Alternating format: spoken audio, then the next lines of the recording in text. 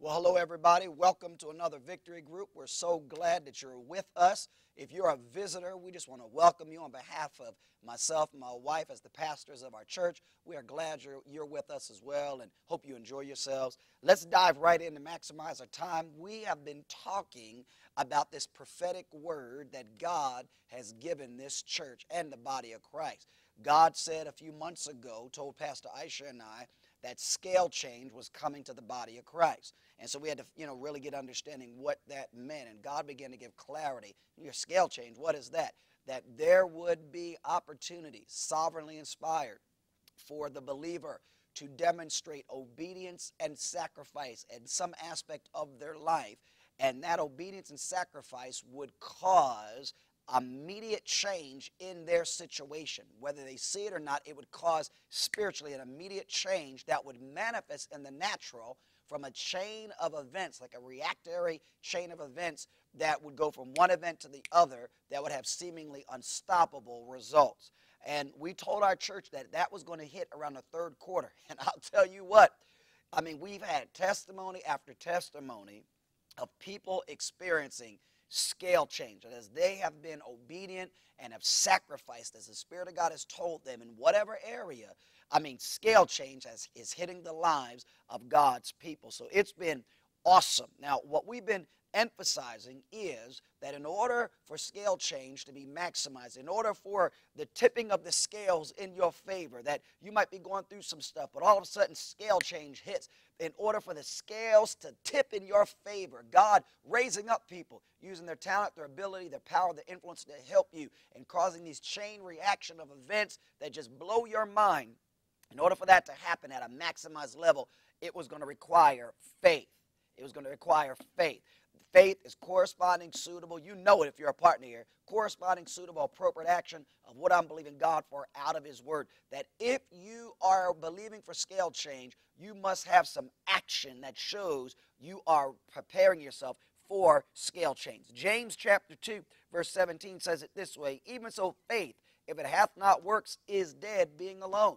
That, you know, you can't just say scale change and go, I receive it. You must have some action to back you up. And we talked about in some of our sessions lately that you can't get weary in operating by faith. That many believers, you know, if it's not going to happen immediately, they just give up way too soon. But Galatians 6 9 says, Don't be weary in well doing, because if you will hold out, it says, in due season. If you won't get weary and faint, in due season, you will reap if you faint not. You got to understand this is not a short term fix. Faith is a lifestyle, the Bible says. The just shall live how? By faith. It's a lifestyle, and you can't quit in your faith. You can't look around and go, well, scale change is happening over here to this person and there to that person, but not me, so I'm going to give up. What's the use? No, no, no, no. You have to be consistent in your faith walk, have that action showing that you are ready. I mean, faith simplistically is all about what you believe, you say, and you do. So you ought to be real busy in this season, believing, saying, and doing scale change, scale change, scale change. Now, we talked about, you know, faith comes by hearing and hearing by the word of God, but faith is released by the words of your mouth. And so we've been spending a lot of time lately zoning in on confession, how important my confession is in um, scale change because my confession releases God to get involved in my situation. You know, when you will speak what God has said, speak the word of God, that if God has promised you scale change, that when delayed situations, distressful situations, trouble situations rise up, you still speak what God has said about your scale change. And we talked about one of the reasons you should be inspired to do that is because Titus chapter 1 talks about that God cannot lie. Numbers 23 19 says, God is not a man that he should lie, that God cannot lie. So if he said he's going to bring scale change to pass, then guess what? He's going to be good on it. He's going to make it good, the scripture says. So we ought to have this inspiration to say what God has said because God cannot lie. And you might go, well, if I'm saying something that I don't have yet, I'm lying. No, no, no, no. If what God said is true, then whether you have it in front of you or not, if you say what He says, it's truth. You speak those things that be not as though they are, though they were. And so you got you got to be committed to have this regimentation of confession in, because you want to always release God to get involved and govern your situation. The devil knows that. The devil understands that your faith will beat the snot out of him.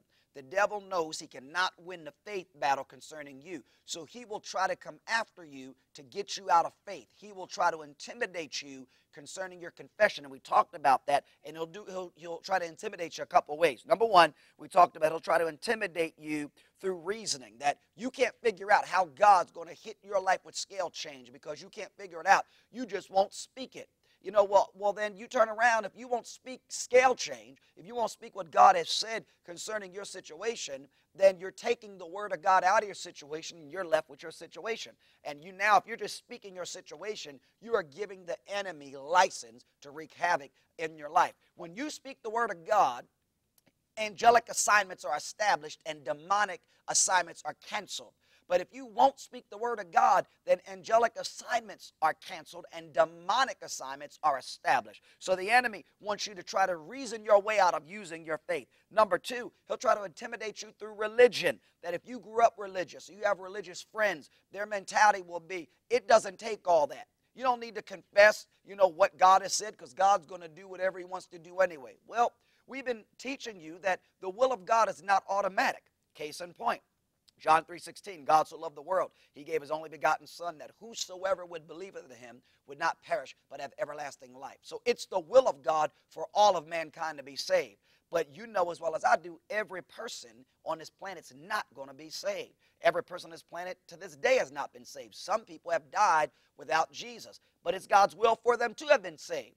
But because they decided not to receive what God had set up for them, they missed it. But God's will is not automatic. If it was automatic, every person will get saved. So, you know, you, you turn around, you can't have this religious mentality and think that it's all on God because God needs your participation for scale change to come to your life. Then we said there's the intimidation of ridicule.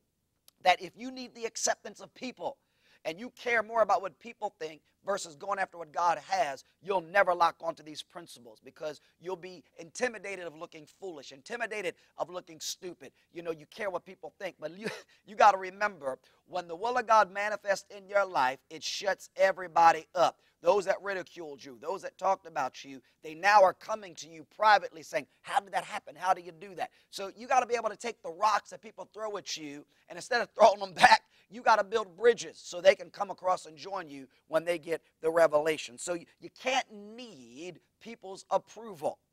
Persecution, ladies and gentlemen, is only effective to the degree that I need acceptance from the persecutor. If I really don't care what you're, you know, what you're saying, then how you feel doesn't move me. Then there's the intimidation of regimentation, and that is, you know, the enemy will just get magnify in your ears that you got to confess again and again. I've been confessing for three months. How long is it going to take? I've been confessing for six months, for a year. When is it going to happen? Well, you got to make up in your mind, I'm willing to wait forever if I need to. Those that are willing to wait forever, that are tenacious that way, end up not waiting forever. And so you got to get regimented. You got to let the enemy know I'm going to do this today, tomorrow, next week, next month, next year, and not be intimidated by that. You know, whenever you look in Scripture, you see this consistent regimentation of declaration. Joshua and Caleb, we talked about that recently. Joshua and Caleb, their mentality when, when Moses sent the spies over to check out the land, Joshua and Caleb were two of the 12 spies. They came back saying, We be well able to go possess the land as God said. The other 10 spies, they were like, There's giants in the land, and we're like grasshoppers in their sight. Well, how do you know what you look like from the giant's eyesight? You know, I mean, people get all, you know, you know, ignorance will make you look stupid. But Joshua and Caleb, regardless of the other 10, kept saying, We be able. And the other 10, the Bible says, influenced the multitudes. But the multitudes' negative confession did not override Joshua and Caleb's positive confession. See, if you will be regimented in speaking this word, it doesn't matter how many people are saying you can't do it. God will always make good on his promise. David, we talked about David, consistent in his declaration. David stood in front of Goliath and three times told him, You're going down, sucker. My translation. You're going down.